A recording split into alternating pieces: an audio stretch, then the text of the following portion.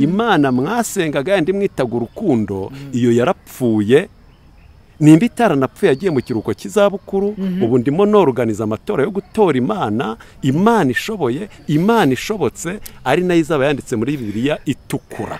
Turirwa dusenga duhumirije mu izina rya yesu mu izina rya yesu mu izina rya yesu. Uwo yesu ko yapfuye na sogokuru akaba yarapfuye urasenga umuzimu w'umuzungu wasenze umuzimu w'umunyarwanda mufitanye isano bigutwaye. Hari abantu bari kukureba bakavuga bati nyamara uyu mugabo wasanga yaravangiwe. Gira icyo basubiza kano kanya.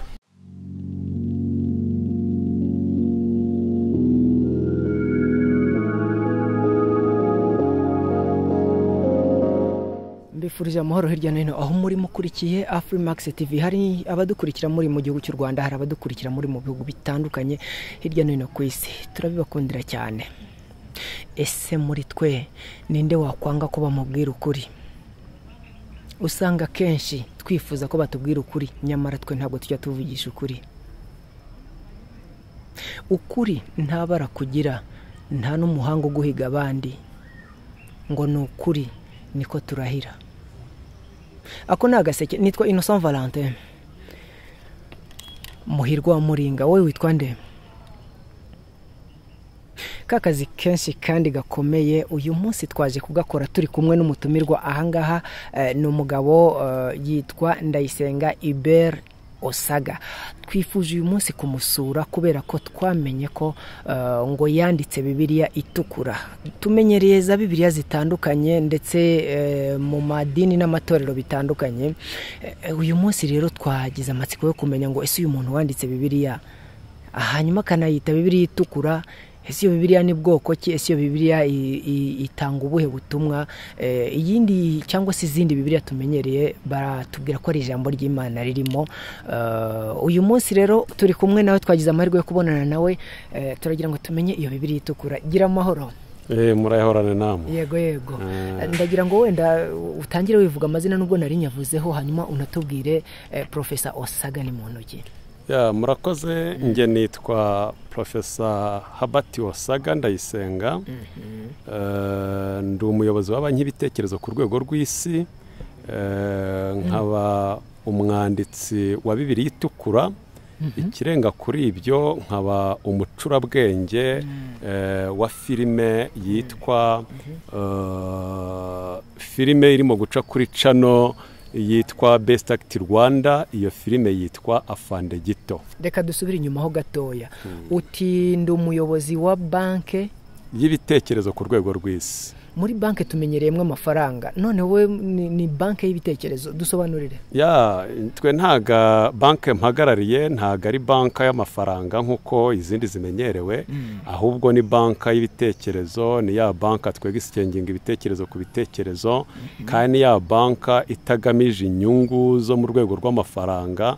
Ahubwo ni ya banki igamije kuba yahereza abantu ibitekerezo bakaba bagendayo amafaranga makeya bafite bakayabyaza inyungu bashingiye kuri bya bitekerezo twabahaye murakoze.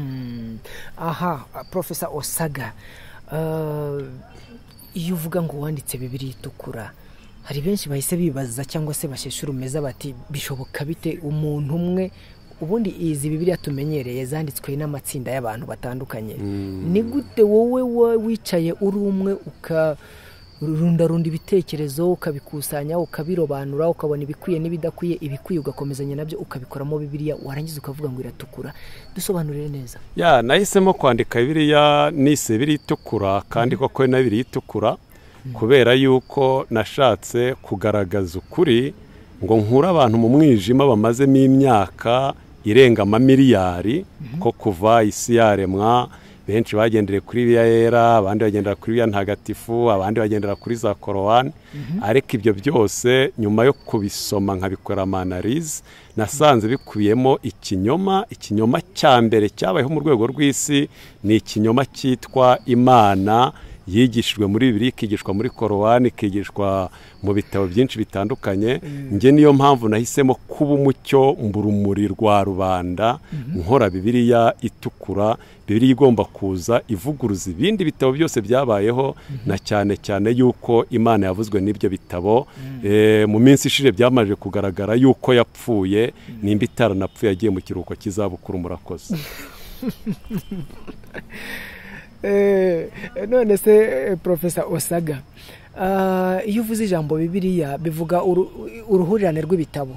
Mm. none nawe wayanditse iturutse mu bitekerezo byawe bwite. Na yo iraza kwitwa bibiliya. Ntago yavuye mu bitekerezo byanjye bwite ahubwo yavuye mu kuyungurura nkasesengura ibinyoma byatanzwe mbere ahanini byatanzwe n'abazungu. Urabona bibiriya bagenderaho uyu munsi cyangwa se bibiriya yari isanzwe ndimo nkore yo kwivugurura. Ni bibiriya yanditswe mu myaka y'igihumbi magana atandatu ahanini yandikwa muri porosesi yo kugira ngo icyitwa ubukoroni kibashe kuba cyashoboka. Yaje ari nk'intwari ikomeye cyane yo gufasha abakoroni kugira ngo babashe gukoroniza abanyafurika babashe gukoroniza rase noire yewe hirya no hino ahabaye ubukoroni.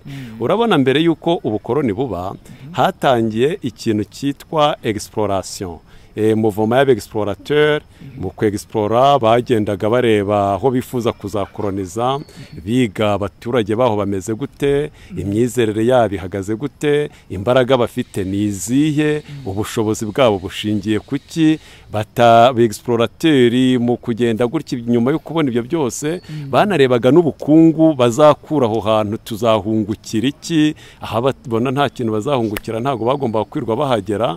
Abegisiporateri baje harimo nk'abitwa ba dr. David livingstone abo ngabo murabazi abitwa ba rene kaye ba mary henrietta kingsley n'abandi benshi cyane murabazi ku banyuze mu bitabo by'amateka.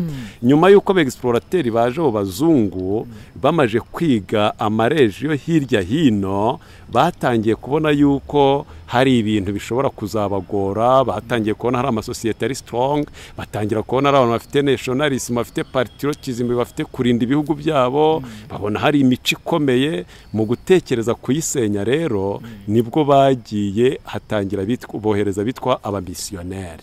Mishonarizi mu kuza kwabo baje no baje kugira ngo batworoshye imitima tubashe guca bugufi badukoronize bibiriya iza ari nk'imbunda irasa kure y'iki? Y'ubukoroni. Aho baje bavuga ngo nibagukubita urushyi umusaya iburyo uzatege n'ibumoso bakubitemo ibyo byanditse muri bibiriya murabizi. Kubera bari babizi neza ko abazaza kudukoroniza bari babizi neza ko abazaza kudukoroniza bazaza nta kindi bakora uretse kudukubita uretse kutugirira nabi. Kubera ko babonye yuko babanje baba egisiporazi babonye ko dufite imbaraga dufite ibigango baravuga ati bariya abazungu tuzabahitana nibadukubita. Ahubwo reka twohereze abantu twohereze icyo cyitwa bibiriya twohereze icyo cyitwa korowani twandikemo yuko nibagukubita urushyi ibumoso uzatega n'uw'iburyo bagakubitamo twandikemo ko hahirwa abakene ku mutima kuko ingoma y'ejo ari iyabo twandikemo ko hahirwa abashavuye kuko ari bo bazabona imana twandikemo ko hahirwa bameze nk'abana bato kuko ari bo bazabona ijuru twandikemo tugaragaza yuko wa muntu hasi wahindutse insina ngufi ari we urimo guhirwa kugira ngo azakunde kubona ijuru bishoboke ko tubasha kumukoroniza ku buryo bigize bite bitworoheye. None ibyo bitabo byaje ari ayo mahame bifite. Bikaza ari izo tageti bifite. Ni ibitabo tuba dukwiye gukomeza kwizereramo umunsi wa none. Biriya bitabo biza bikavuga ngo umuntu imana yaremye umuntu isomye nko mu ntangiriro. Urasanga bavanga imana yaremye umuntu irema adamu. Ngo maze ngo iramusinziriza imikuramo urubavu irukoramo nde? Irukoramo eva. Icyo gihe ni ibigaragara mu by'ukuri yuko harimo no gutesha agaciro igitsina gore. Uyu munsi turimo guporomotinga ibintu byitwa jenda aho abagabo n'abagore bagomba kuringanira. Ntabwo dushobora guporomotinga jenda kandi tugaragaza ko umugore ari urubavu rumwe mu zigize umugabo ibyo bitari ko bivuga. Umugore nawe ni umuntu angana n'abandi. Ibyo bitabo biriya birimo gutesha agaciro abagore bikwiye kuba bitwikwa bikajugunywa hakajyaho igitabo cya bibiri gitukura kigaragaza umuntu nk'undi. Ikindi iyo urebye biriya iravuga ngo dore iby'imana yishe abanyabwenge yabishuriye abaciye bugufi.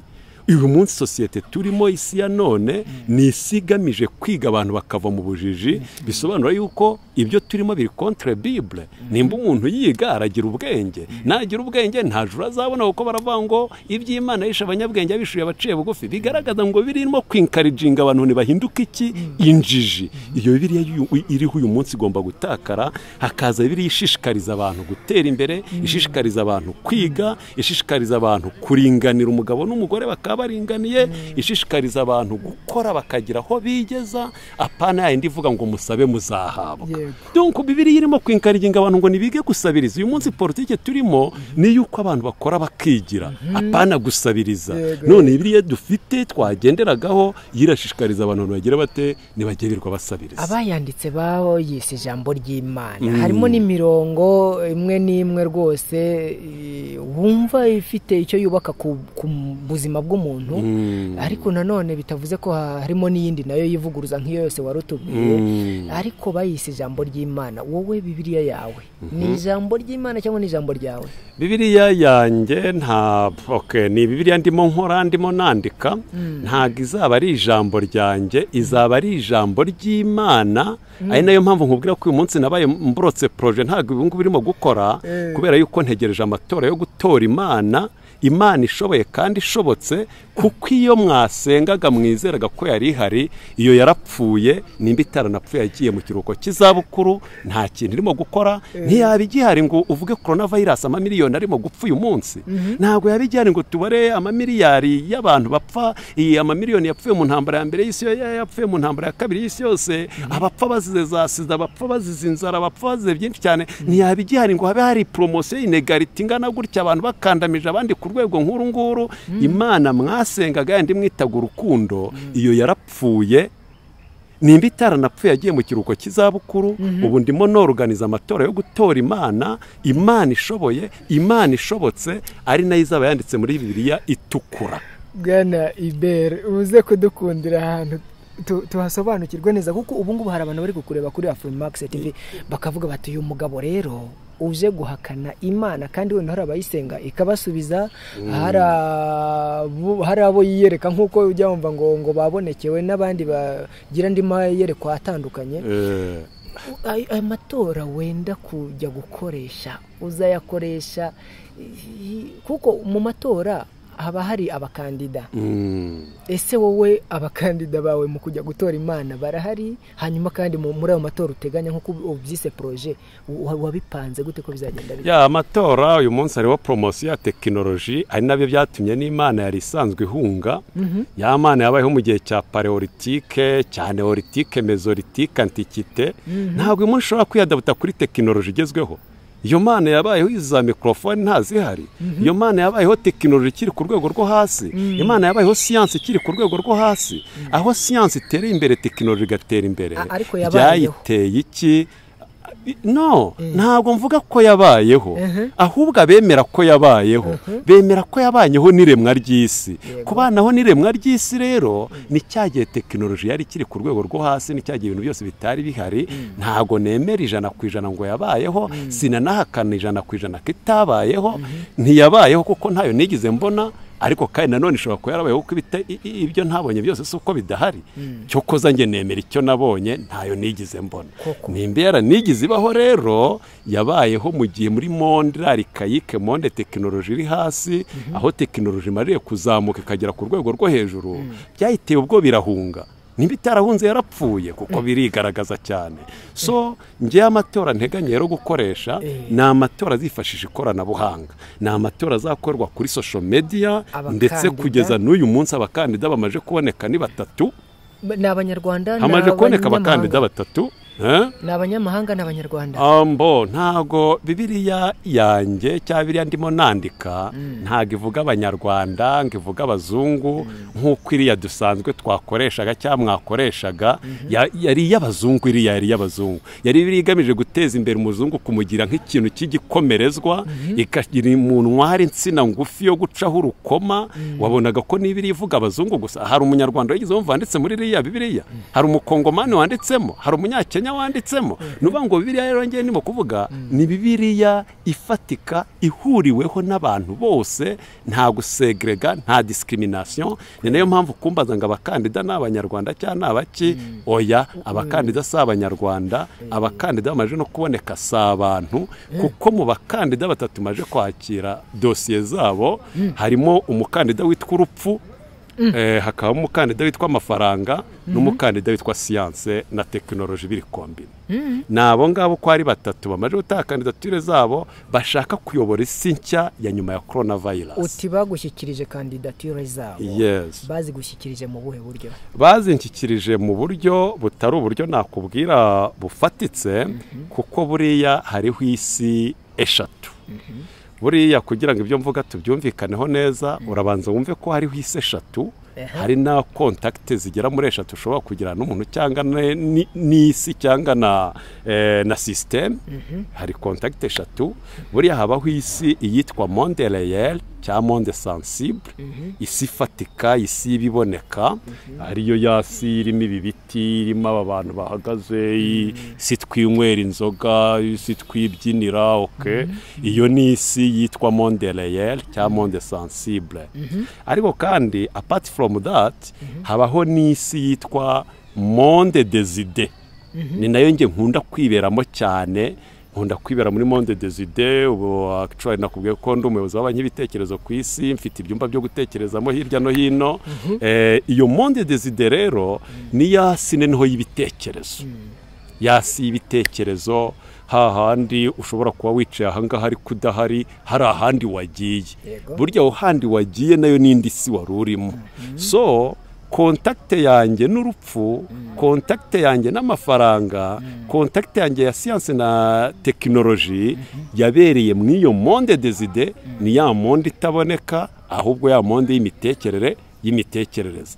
Eh, indi si ya nyuma nakubwiraga rero wenda nubwo yo eh, ntari nayigeramo ntari navuga ngo ndimo kujyana na kontakite n'abakandida mu iyo si ni iyitwa monde sembolike ya si ibimenyetso uramenya nawe utazahura n'umuntu mu muhanda arimo kugenda yivugisha ngo mwite umusazi.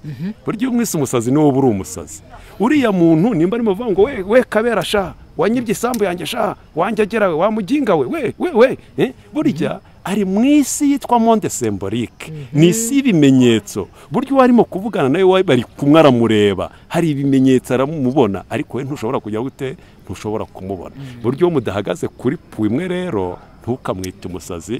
Cyangwa mube mwabipfa ari na yo mpamvu bibiriya yanjye iraporomotinga ikintu cyo kubana mu mahoro iraporomotinga ikintu cy'amahoro cy'umutekano no guhana agaciro kubaha ibitekerezo bya mugenzi wa wawe ok hari interuro iri muri bibiliya dusanzwe tumenyereye yera cyangwa ntagatifu eh, ivuga ngo jambo yahozeho kandi azahoraho. Iyo nteruro ivugaho iki? Iyo bavuga ngo jambo yahozeho kandi azahoraho natangiye nkubwira yuko imana ari ikinyoma cya mbere cyabayeho ku isi kitazagira n'ikigisimbura mu mateka. Iyo bavuga ngo jambo yahozeho ngo kandi yahoranye n'imana bakavuga ngo imana niyo yaremye isi n'ijuru nanjye nahita mbaza ngo mbere y'uko irema iyo si n'ijuru yabiremye ihagaze ku ki? Yabiremye irishye Eh, yabiremye irishye barangiza bagahita baguhindukirana ngo ayo ni amayobera amatagatifu ngo iby'imana yahishe abanyabwenge abaciye bugufi. Kugira ngo twebwe ni ibyazanywe n'abazungu kugira ngo duce bugufi tu. Batuyoborere mu cyuka nihumiriza nkuyobore. Bibiriya yaje arihumiriza nkuyobore imana iza arihumiriza nkuyobore. Ariko ubu ngewe bibiriya itukura ndashaka abantu bakanura amaso bakayoborwa n'ubwenge aho kuyoborwa n'ubujiji. Ikindi Mhm, impamvu yitwa itukura nta yindi ni ukugira ngo nshimangire na nereke rubanda nyamwinshi ubugome bw'imana bizeye imyaka itagira umubare. Yitwa itukura kubera amaraso yamenetse.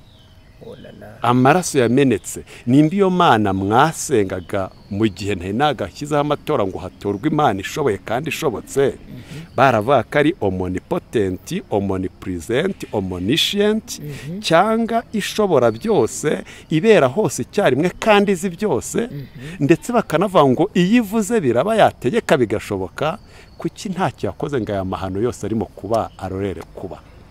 Kuki itigeze ivuga ngo korona vayirasi sitopu ngo iyi sitopu ikareka abantu bakarindimuka kuki itigeze ivuga ngo intambara ya mbere y'isi yose sitopu ngo irangire abantu bakagenda kurindimuka amamiliyoni yarindimutse. Intambara ya kabiri y'isi yose kuki ntacyo yakoze ngo iyihagarike ivuye ngo sitopu ngo bihagarare. Kubera iki intambara z'ivanguraruhu inzara hirya no hino. Kubera iki ntacyo ikora bigasaba abantu bafite ubwenge bigasaba ya siyanse. Ari na yo mpamvu irimo guteramo ngo iba imana. Ya siyanse zigakemura ibibazo. Bigasaba ya tekinoloji zigakemura ibibazo. Bigasaba na rwa rupfu rutinywa na rubanda nyamwe nyamwinshi. Abantu nimba twarahisemo kubaho ku bwoba nitwemere urupfu rutuyobore hari abantu bari kukureba kuri afurimax tv muri aka kanya bakumva ngo uyu mugabo yiyise umuyobozi w'ibitekerezo ngo umuyobozi wa banki y'ibitekerezo. Ntabwo nabyise nge ndi umuyobozi wa banki y'ibitekerezo ku rwego ku rw'isi rwego rw'isi. Hari ahandi handi bakuzi uretse wenda hano mu rwanda cyangwa se tutanagiye kure. Hano hano hafi hano hafi mu baturanyi. Ngewe ntabwo nzwi mu rwanda cyangwa nzwi muri amerika cyangwa hirya hino aho ngaho uvuga hose. Ngewe aho mpa agaciro mpa agaciro ya monde deside ngewe nzwi mu buryo muri univasi kweli. Iniveri n'iy'inzi univasi n'iy'inzi ngomba kumenywa n'ikirere nkamenywa n'amazi nkamenywa n'ubutaka kurenza kumenywa na poroduwi ziva mu butaka ari zo bana Eh? ngewe ndi umuntu udasanzwe. Abansobanukiye neza banyita nyakubahwa Eh, abansobanukiye neza banyita nyakubahwa ko bavuga ngo icyubahiro ni icy'imana? Wowe kubera iki bakwita nyakubahwa Eh, iyo bavanga icyubahiro n'icy'imana ni ba bandi bashaka kugira ngo bibire icyubahiro utagikwiye icyubahiro gikwiye abantu batekereza kugeza n'ubwo batekereza mu ndiba y'isi. Abo nibo bakwiye icyubahiro Eh, kuko uyu munsi ntangiye mfite n'amaporoje yo gukora ibikorwa bihambaye bihanitse. Eh, kandi nzabigeraho. Ndashaka gutangira kujya eh, ngira na byinshi nakoresha tekinike z'abakurambere nasigiwe n'abakurambere apana izo mana bavuga nkakora ibitangaza. Nk'ubu uyu munsi nshobora kugwa gituma inkuba nkayibuza gukubita. Yesi oya. Eh, nkoresheje za mbaraga z'abakurambere nshobora kugwa gituma inkuba nkayibuza gukubita nshobora gufata umurabyo nkawubuza kurabya nshobora kuzimya itara nkatanga umwijima mu cyumba ni ibintu byinshi cyane nshobora kuba nakora aho kugeza ntibiri kuri uno buze kugaragara cyangwa kumvikana nko kwiyemera. Ntabwo biraza kumvikana nko kwiyemera ahubwo biraza kumvikana nk'ibidasanzwe kuko ndi umuntu udasanzwe. Koko. Hari abantu bari kukureba bakavuga bati nyamara uyu mugabo wasanga yaravangiwe. Gira icyo basubiza kano kanya. Ya ababona ko navangiwe ni ba bandi tudatekereza kimwe. Buriya iyo mudahagaze kuri pu imwe ntabwo mwakumva ibintu kimwe. Wenda ahangaha ni uko twicaye muri jaride mba nkweretse uburyo ki iyo mudahagaze ahantu hamwe mutabona ibintu kimwe. Ariko nshobora kubikubwira ndabizi wabyumva izi mikorofone ntuzifashe kubera yuko ari jede hazari nuko wanyuze mu ishuri. Buriya nanditse umubare gatandatu hasi. Nkawandika mpagaze ahangaha njye nshobora kubona ari gatandatu ariko uramutse ugiye kuri iriya sayidi wowe wabona atari gatandatu wabona ari kangahe? Wabona ari icyenda. None ubu njye nawe twabipfa ngo kubera iki urimo kubona ari icyenda njye mbona ari gatandatu? Ntabwo twabipfa kubera ko tudahagaze kuri pu imwe. N'abarimo abashobora kumbona bakanyita umusazi. Ni ba bandi tutari mu isi imwe. Njye nakubwiye yuko hari isi eshatu nshobora kuba ndi muri monde deside undi ari muri monde sensible Yego. cyangwa undi ari muri monde semborike ntabwo ashobora kumbona nk'uko ndi Okay. Ah, eh, eh, bibiliya tumenyereye izo twavuze nyine ndetse na korani tuyishyizemo zigira imirongo cyangwa se amaverse Mm. wowe muri bibiliya yawe turagira ngo utubwireho imirongo nk'ibiri cyangwa itatu kuko ibyo ari byo byose ah, hari abazakenera kuyisoma cyangwa se hari abafite n'amatsiko yo kumva ngo harya ubutumwa burimo ni bwoko ki? Turagira ngo tubwireho imirongo Ya, mikeya igihe cyo kwironshinga ntabwo cyari cyagera ntabwo ari iki ngo nyironshinge ariko igihe nikigera nzayironshinga gusa namara amatsiko abantu Eh, byanditsemo bya ni ukuvuga ngo ni bibiliya izaba igaragaza ubutwari bw'abantu ni bibiliya izaba igaragaza ibyagira rubanda nyamwinshi akamaro kurenza kubabwira imigani n'ibisakuzo ni- ni- ni- ni- ni- n'imyamamarire y'abazungu. Ni bibiliya izaba igaragaza nk'ubutumwa bwa fred gisa rwigema mu kubohora igihugu bya bintu by'ingirakamaro. Eh, ni bibiliya izaba igaragaza inzandiko z'abagabo bagiye bagira uruhare mu kubohora afurika bitwa ba Kwame Nkrumah bitwa Nelson Madiba Mandela. Abagabo b'ibikwerere b'ibihangange bafite icyo basobanuye bafite icyo bakoze. Apana kujya kubona ukabona umuntu ari aho ngaho ari mu Rwanda arimo kwinaga hejuru arimo gusoma ngo urwandiko ngo Paul Mutagatifu yandikiye abanyakorento none nimba yararwandikiye abanyakorento urimo kurusoma uri umunyarwanda ni we rureba n'urwawe urwo rwandiko n'urwawe no dukwiye kuba twandika dusoma ahubwo ubutumwa nyakubahwa Fred Gisa Rwigema yandikiye abanyarwanda agaragaza ko ari mu rugamba rwo kubohora iki igihugu. Ubutumwa nyakubahwa Nelson Madiba Mandela yanditse aharanira yuko Afurika iba umugabane muzima irangwa n'amahoro ubutumwa bwanditsweho rwanya pariteyidi ivanguraruhu ubutumwa bwanditse haranirwa iki? Haranirwa ubumwe bw'abantu ubutumwa bwanditse haranirwa amaho amahoro n'iterambere ry'isi muri rusange. Ufite icyizere cy'iko iyo bibiriya yawe izakundwa kubera ko kugeza ubu ngubu bibiriya ni cyo gitabo cyanyuze mu icapiro bwa mbere kandi na cyo gitabo ngo gitunzwe n'umubare munini w'abantu ku isi. Mm. wowe bibiriya yawe ufite icyizere cy'iko abantu bazayikunda bazayibonamo bazayoboka ubutumwa burimo? Ya icyizere kirahari kuko ni bibiliya izaba ihumura abantu amaso. Kandi mu isi tugezemo uyu munsi buri wese akeneye guhumuka nta muntu ugikeneye ko bamufata ku maso. Eh, urabona bibiliya y'uyu munsi ni bibiliya itunze padiri igatunga pasiteri kuko nibo babyungukiramo urabona padiri araza agaparika imodoka ye nziza hariya pasiteri agaparika imodoka ye nziza hariya. Wa muturage wavuye za kanjongo za nyakarenzo na za eho ivumbi ryarenze amuzaniye amafaranga. Kubera yuko iravuga ngo abafite duke bazatwamburwa duhabwe bande duhabwe abakire. Iyo niyo bibiriya y'uyu munsi. Ariko bibiriya ngiye ndimo nandika ni bibiriya ivuga yuko abantu bakwiye kugira gute abantu bakwiye kuba batera imbere bose. Ni bibiriya igamije guhumura abantu. Tukabereka ngo unyuze ahangaha watera imbere. Unyuze ahangaha watera imbere. Icyitwa hard working icyitwa accountability icyitwa thinking big. Ni bibiriya igamije ko abantu batekereza kure ni bibiriya igamije ko abantu bakora cyane ni bibiriya igamije ko abantu bumva ko ibintu ari bo bireba nta wundi bireba bumva ko bagomba kwigira bagakira ari bo bikijije. Apana gutegereza ko imuhana ka kandi kaza imvura ihi imvura ihise. Nta kabuza yari izakunda yego wigeze uvuga uti ntabwo iri hadi nta nubwo iri sofuti cyangwa se ntabwo nta bitabo bihari byanditsemo. Kandi nta naho wenda twavuga ngo muri kompiyuta nka rya koranabuhanga bavuze irimo Mm. iyo bibiriya izagera ku bantu gute ko ibitekerezo byawe na byo bagomba kubyumva kandi ko wenda hari ababikeneye kandi bishobora no gufasha no guhindurira imibereho ese uzayempurima ize mu bitabo nk'uko izindi bibiriya tuzibona cyangwa se uzayishyira ku- kuri murandasi abantu bajye bayibona bakoresheje uburyo bwa interineti bimeze bite? Ya ubu ndatekereza ko yatangiye kubageraho. Eh, abakurikiye Freemax TV ndatekereza ko yatangiye kubageraho. Eh. kuba bumvisha ubwabyo biri itukura batangiye kuyisoma batayireba eh? icyo mba nshaka ntabwo mba nshaka ngo abantu babe sclave baba bacakara b'ibyo navuze. Ahubwo ibyo mvuze gatoya mvuze ni kaburumuri abantu batekereze kure. Uwo ari wese ukimara kumva ngo bibiri itukura ndatekereza ko yatangiye kuyisoma. Yatangiye ubwe kuyimajina yatangiye kuyisoma. Kuko nari natekereje kuyitayipinga ntekereza kuyandika ariko aho nayandikiraga mu cyumba cyo gutekerezamo cyanjye kiba mu murenge wa nzahaha naje guterwa n'abantu biyise abayobozi baraza bangirira nabi kugeza n'ubwo bantwaye bajya kumfungira mu nzererezi mubona ndi umupatiro umeze gutya abansobanukiye neza bazi ko ndi nyakubahwa banjyanye mu nzererezi cyo koza ndashima ubutabera bw'u rwanda kuko bwabakatiye igihano kibakwiye. Eh, ni naho ibintu byanjye poroje zanjye zose zangirikiye mpitamo gutangira kuzikorera hehe mpitamo gutangira kuzikorera muri monde deside hahandi hatagera ibisambo hahandi hatagera amasarigoma aho nzasohorera ikintu cyanjye kimaze kuba fayino porodagiti Oh, reka tukwihanganishe ku byakubayeho. Turi kugana ku musozo abantu bakurikiye afurimax tv muri aka kanya. Ni ni benshi cyane kandi barakureba kandi bumvise ibitekerezo ufite.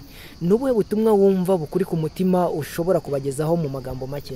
Ya mu magambo makeya ubutumwa numva nabagezaho nababwira ngo nyamuneka eh, nimugire ikintu cyitwa interdependence and unity in diversity bisobanura iki? Birasobanura ngo ni ubumwe ni ubwuzuzanye n'ubumwe mu budasa. Abantu nibumve yuko kuba badatekereza nkanjye kuba udatekereza nka runaka kuba utabona ibintu kimwe na runaka wimufata nk'umwanzi ahubwo umva ko ubusitani bwiza atari ubugizwe n'ururabo rumwe ahubwo ari ubugizwe n'indabo nyinshi zitandukanye wumve ko na sosiyete nzima ari igizwe n'abantu bafite imyumvire itandukanye hahandi imyu- uko wumva ibintu uko mbona ibintu uko ubibona twabishyira hamwe kandi tukabibyaza iterambere apana kuba abacakara b'ikintu kimwe. Ikindi nabwira abadukurikiye nabasaba yuko uwo ari we wese wakorwa ku mutima n'iyi poroje mfite akumva hari icyo yamfasha kugira ngo ibashe kuba yagerwaho ikwirakwire nk'uko wabimbazaga ndumva yazampamagara tukicarana tukaganira tukareba buryo ki yashyirwa mu bikorwa ikabasha kuba yagerwaho ikagera kuri benshi na cyane cyane ko mbona iyo bibiri itukura izaba ari urumuri. Rumurikira isi muri rusange za se eshatu zose zizaronka urumuri turonka iterambere. Uwakenera kumpamagara rero mbere yuko tugera kuri nimero yawe ese hari wenda nk'urubuga runaka ufite watangiye gushyiraho ibyo bitekerezo byawe ku buryo ubishaka afite aho yabibona? Ya uyu munsi nababwiye yuko ndi n'umucurabwenge nababwiye ko ndi umucurabwenge wa filime yitwa fande gito iboneka kuri best act rwanda. Ni ukuvuga ngo uyu munsi ibitekerezo byanjye ndimo kubinyuza kuri best act rwanda. Best act rwanda. Ntabwo ririho. Eh, rwanda ntabwo hariho Yego. Eh, best act rwanda. Ni cano ni cano uyu munsi biriho hari n'andi macanozi menshi nka furimax murabona muransuye turaganiye. Namwe hari bimwe mu bitekerezo byanjye mubonye. N'abandi n'abandi uko bagenda baza abi- abitwa kuri tv baransuye abitwa uburyohe tv baransuye. N'abandi benshi bagenda baza ku buryo ibitekerezo byanjye kuba babibona biroroshye cyane. Biroroshye cyane. Nakomezaga mvuga rero icyo nasaba abantu bankurikiye.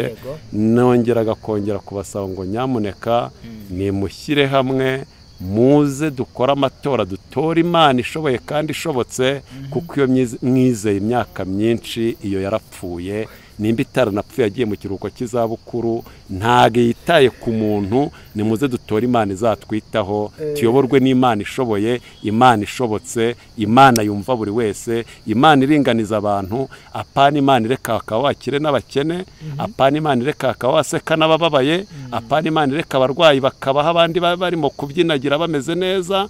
Dutore imana izafata buri wese nk'umuntu ntigire ubusumbane mu bantu kuko iyo mwizejwe mukizera igihe kirekire cyari ikinyoma kandi cyarapfuye nimba kitanapfuye kiri mu zabukuru mugira amahoro. Turagana ku musozo. Hari ukubona akavuga ati ariko uyu mugabo umuntu yamugeraho ate? Watanga nimero ya telefone? Ya kugira ngo ngereho nta kibazo biroroshye cyane. Wampamagara kuri zeru karindwi umunani umunani mirongo itandatu na kabiri mirongo irindwi na gatanu mirongo itandatu na gatandatu. Wayisubiramo. Ni zeru karindwi umunani umunani mirongo itandatu na kabiri mirongo irindwi na gatanu mirongo itandatu na gatandatu. Ndi umugabo wize ntago ndinjije ndajijutse. Narize rwose amashuri yisumbuye ndayiga na kaminuza naraminuje ariko sinaminuje ngo mfate ibitabo mbishyire mu mutwe gusa mfate inyuguti nzirunde mu mutwe gusa ahubwo ibyo nize ni byo byampaye kwaguka mu mitekerereze nshaka kugira ngo dushyireho isi ya kabiri isi izayoborwa n'ukuri ikayoborwa n'urumuri. Ufite icyizere kandi kuzabigeraho mfite icyizere 100% ko nzabigeraho. Aha iyi bibiriya tumenyereye. Yera cyangwa ntagatifu. Ndetse na korowani abantu barabitinya bazi ko ari ibitabo birimo ibyahumetswe n'imana. Wowe ntabwo uyitinya ngewe ntabwo ntinya biriya bitabo natinya igitabo cyanditsemo ekonomi natinya igitabo cyanditsemo imibare cyangwa cyanditsemo fizike kuko ni byo ntekereza ko byangirira akamaro. Iyo bibiriya ntabwo nyitinya ntiyanangerera mu nzu. Ngewe ntabwo ndi ba bandi bahishwe ubwenge ngo bazabone ijoro nge ndi umunyabwenge narize ndaminuza ntabwo iyo biriya ifavoriza injiji yumva ko abadafite ubwenge ari bo bazabona imana ntabwo ngewe yanjye iwanjye nkeneye ko abana banjye biga bakagira ubwenge nkeneye ko nanjye ubwanjye nkomeza mu iterambere mu by'ubwenge niyo mpamvu hagomba gusomwa ibiri itukura iyo biri itukura ikaba iwanjye mu rugo ikaba iyo gusomwa umunsi ku munsi ndetse nkanifuza yuko buri wese uri ku isi yazasoma iyo biri itukura ikamubera urumuri ikamubera umucyo ikamubera isoko y'iterambere. Turagushimiye porofesa osaga. Akabazo ka nyuma mbere ko dusoza. Mu buzima busanzwe ukora iki? Ya mu buzima busanzwe ndi umurezi Eh, ndi umurezi ni cyo nkoraho amasaha makeya ariko ubundi akazi kanjye ni ugutekereza. Ni ugutekereza. Mm, akazi kanjye ni ugutekereza ariko ndi n'umurezi kandi ni akazi nkunda kuko byari ninatekereje ndagenda nkabiha abandi kugira ngo nabo bazakure bameze neza tubashe kubaka yasi irangwa n'ubumenyi. Hari umuntu ukubonye agahita avuga ati uyu mwarimu ntakanyigishirize umwana niba ari ibi bitekerezo afite. Gira icyo umubwira mbere ko dusoza. Ya wambona akavanguye umwarimu ntakanyigishirize umwana ufite ibitekerezo nk'ibi? Ni wa wundi nahamagaye ndamubwira nti nyamuneka kuba utekereza gutya nanjye nkatekereza gutya n'uriya agatekereza kuriya ntago twakagombye kubipfa. Dukwiye kumva ko n'ubusitani bwiza nk'uko ari ubufite indabo nyinshi zitandukanye na sosiyete nzima n'ifite abantu bafite imyumvire itandukanye iyo babihurije hamwe bibyara ikintu kizima. Tureke kuba abacakara b'imyumvire yazanywe n'abazungu nidutekereze iby'iwacu tugire made in rwanda mu mitekerereze yacu tugire made in rwanda mu migirire yacu tugire made in rwanda mu gukunda iby'iwacu aho biva bikagera. Na cyane cyane yuko buriya tugeze nko kuri asipe ya turizime buriya ubukerarugendo bwasubiye inyuma. Busubizwa inyuma nuko dutekereza kizungu tugasenga kizungu. Ariko nk'ubu iyo tuza gukomeza tukagira ingoro za ryangombe na nyabingi kandi tukabasenga ku manywa y'ihangu utekereza ko tutaba turimo kwinjiza amadovize akomoka mu ubwo bukerarugendo kuko twari kuba turimo gusenga iby'iwacu mu muco w'iwacu. Bari kuza bakareba uko dusenga tukinjiza amafaranga. Ariko kubera ko twahisemo gusenga iby'iwabo ntacyo tubona. Turirwa dusenga duhumirije mu izina rya yesu mu izina rya yesu mu izina rya yesu. Uwo yesu ko yapfuye na sogokuru akaba yarapfuye urasenga umuzimu w'umuzungu wasenze umuzimu w'umunyarwanda mufitanye isano bigutwaye. Ugasenga mu izina rya sogokuru wawe wapfuye ko n'undi yapfuye. Eh?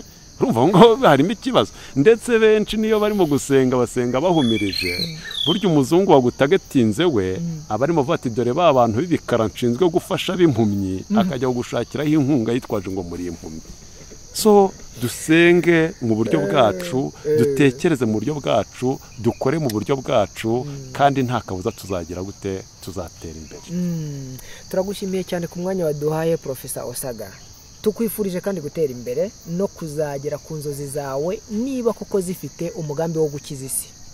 Murakoze cyane nanjye ndabashimiye kandi n'ubutaha muzagaruke tuganire. Murakoze cyane. Nshimiye kandi buri wese ukurikiye afurimax tv ni ukuri ni ukuri bayi bayi Mhm.